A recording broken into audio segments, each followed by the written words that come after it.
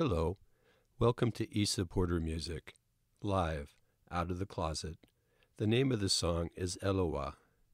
At the end of the video, I'll briefly discuss my inspiration for writing it. Thanks for listening. Eloah Adonai Elohim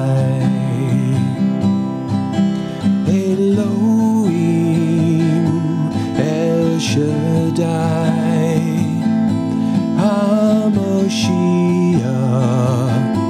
Yeshua Eloheinu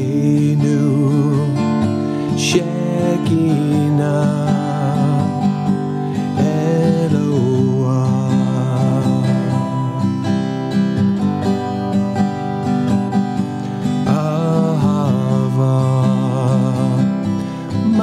sweet Lord, the strong one, all sufficient, our deliverer and salvation.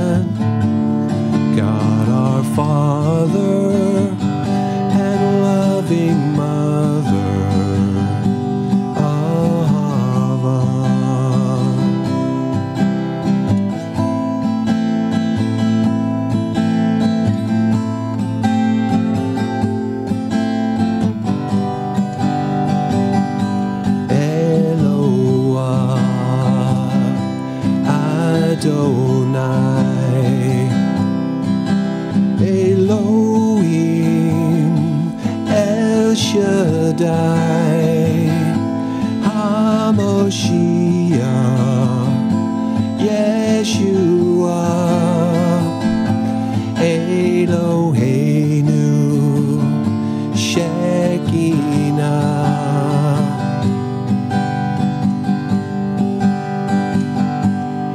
names of God.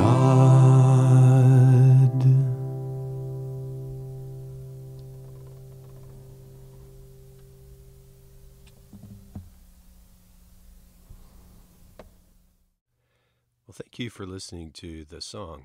Uh, the word Eloah um, is a poetic feminine case uh, name for God that's used in the Old Testament.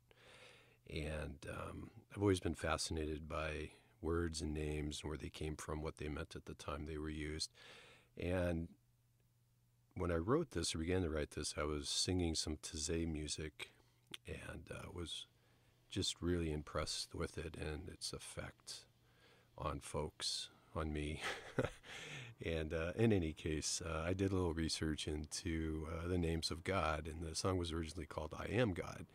So Adonai, Lord God, Elohim, God the strong one, El Shaddai, all sufficient, Shad, breast, uh, it's a feminine word for God.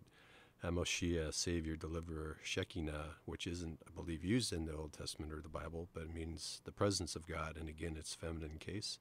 Eloheinu, our God, and Yeshua is uh, actually the name Jesus, uh, it's, it's, uh, which means salvation. Ahava, uh, which I don't know is in the Bible, it might be, uh, means love and to give. It's definitely in uh, Jewish writings. In any case, I just was having fun with those words, and it became kind of a meditative song for me. So, yeah, hope you enjoyed it. Thanks for listening. Till next time.